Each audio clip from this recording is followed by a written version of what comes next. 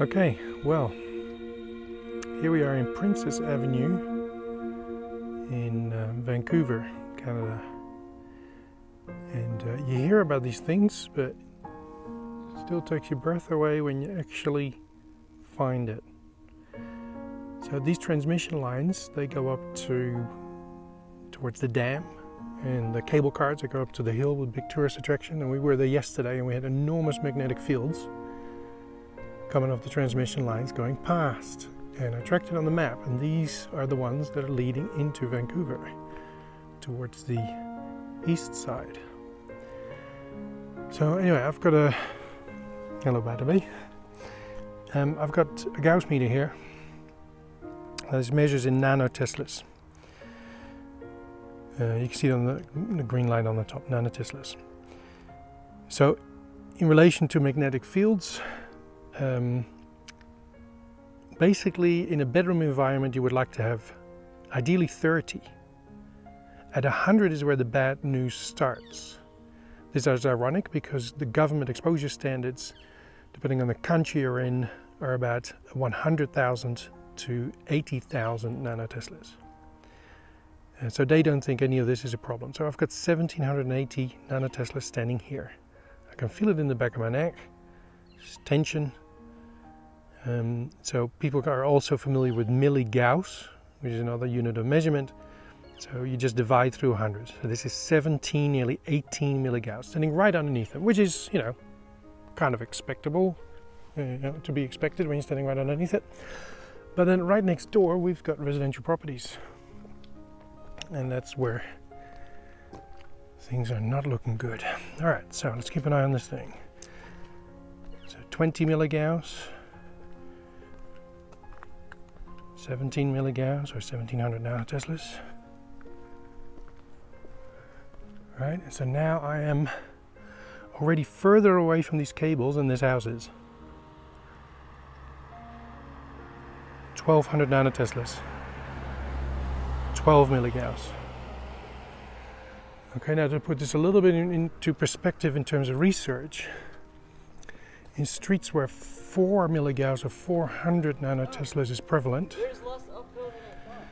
um, there's more cases of childhood leukemia. Multiple studies show that, where we've got 8 here. I'm already past this blue house. Right? Uh, studies in melatonin and its natural anti-cancer action link exposure to down to 2 milligauss or 200 nanoteslas to melatonin being blocked in its natural anti-cancer action. These people are I'm further away than this house is from the cables now. They've got 4.7, 4.8.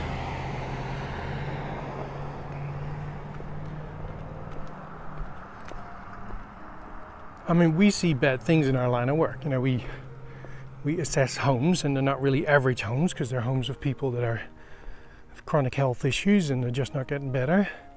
And so we work to improve their sleeping environment because that's where the oh, the story just gets better. Sorry, gets worse. Look what I just noticed. Let me zoom in a bit. Nice cluster of cell phone transmitters also in the backyard. Um, yeah, so we see we don't see the average we don't see the average house. We see houses where people are sick. Um, so we see, you know, no doubt worse of the average. Um, and you always pray that this is not there because you can't shield against magnetic fields that penetrate everything pretty much. Um, well, there's stuff you could use against it, but it's so expensive you would move house. Um, so, you know, you always hope you don't have this. Magnetic fields can be produced by wiring if there's a fault with that, that's then fixable in most cases. But um, if it's from outside source like this, you got no hope. Um, all the other stuff we can deal with, radio frequency radiation from cell phone towers, um, electric fields from the internal wiring, that we can deal with. And we do that all the time. And you just hope that magnetic fields are not the problem, and they often aren't. But Sometimes they are. And this is probably the worst street I've ever seen. All right, so these people, right, look at the lines over there. these people probably sitting in uh, a good 300 nanoteslas, 3 milligauss. Would certainly be past the bulk of their house now, still looking at a good 3 milligauss. Oh, sorry, yeah, 2.9 milligauss, 300 nanoteslas. So yeah, to continue on that research, so two, down to 200 linked to melatonin being blocked in its natural anti-cancer action. Uh, 160 nanoteslas or 1.6 milligauss research showed that it doubled the chances of sperm abnormalities. So now we have cellular change. Um, there we go. Look at that. Um,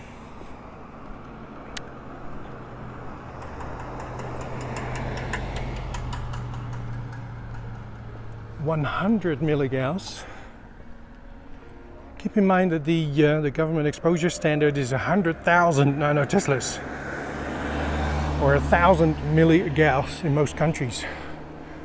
Um, think perhaps Canada is a little bit less. I think it's 833 milligauss or something, or 83,000 nanoteslas.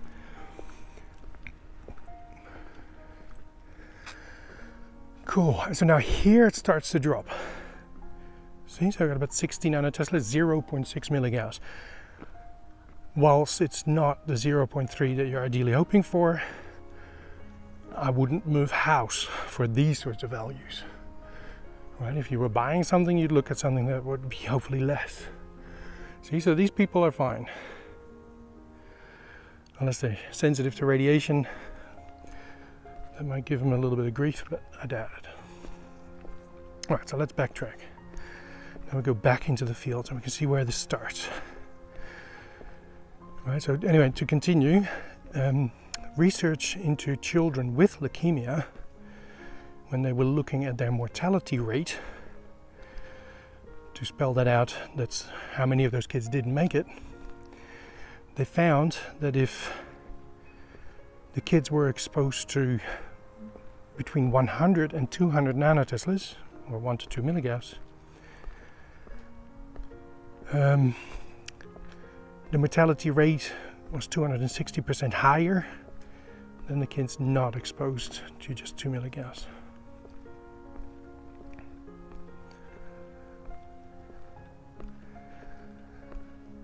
Okay, so now it's starting to creep back up.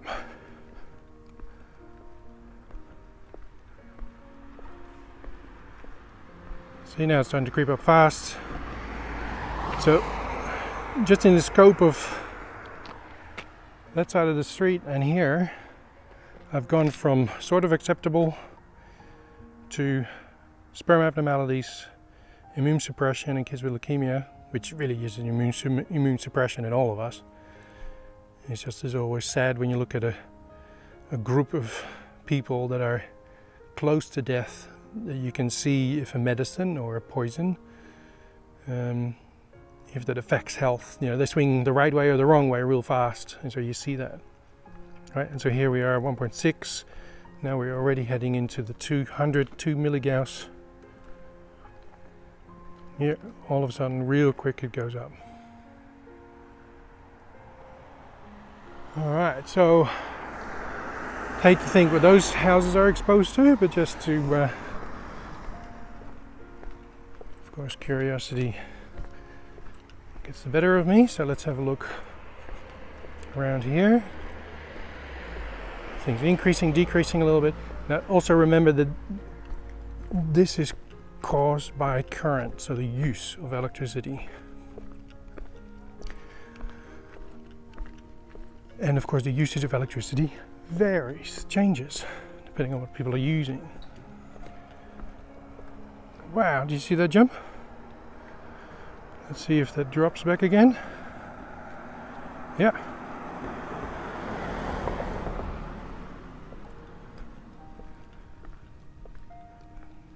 Very big change in scope of a few meters. There could be some interaction with the water pipes here as well, but as in if they've got copper piping in the ground, that could have a, an influence on it.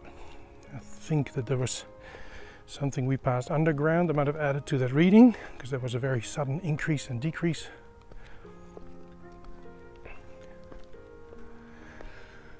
So all these houses, I mean, I don't want to step onto people's property, but here I'm already looking over 100, over 160, so that's over 1 milligauss, over 1.6. And so, uh, yeah, not good. What do you think?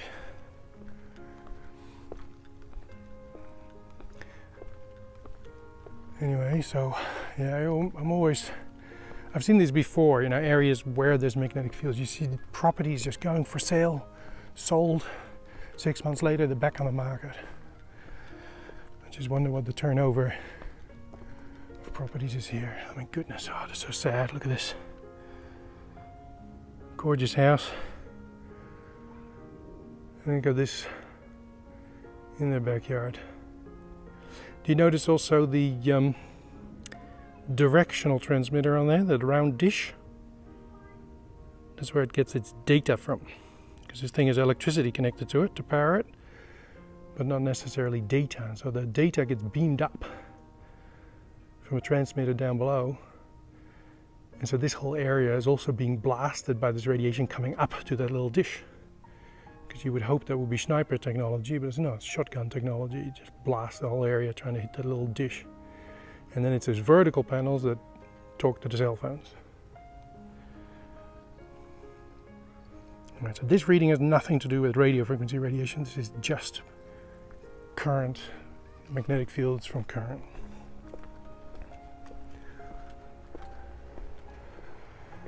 If there was a path in between, I would go and have a look.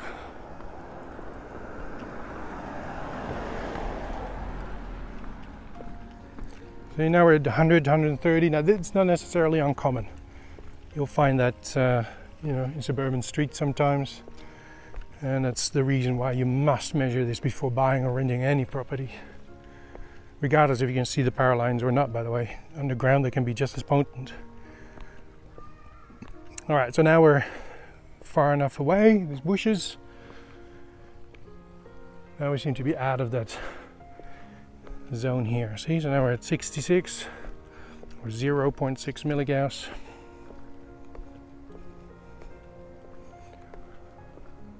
Just over the hill.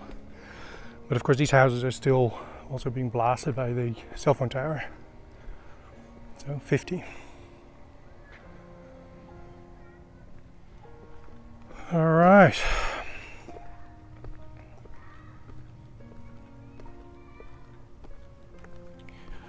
Just turn this around. Right, so, you know, as a EMF consultant, you always hate to be the bearer of bad news. Uh, and, you know, we also, we can't really tell people to move. You gotta come to the decision yourself. Uh, now, just uh, before we get into that, um, I've got my uh, RF meter here as well for radio frequency. Look at the tower behind us. Can we see that? There it is. All right, so standing here, it's indicating when I hold onto this antenna. So my, bo my body is the antenna effectively. I'm looking at 3,100 microvolts. Okay, so we'll walk down the hill a little bit, see what we got, but I don't think that would uh, vary all that much.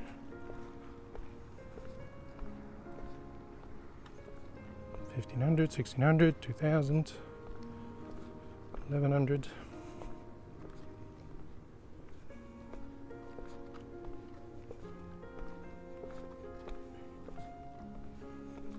Twelve hundred, fifteen hundred, eighteen hundred, twenty-two hundred.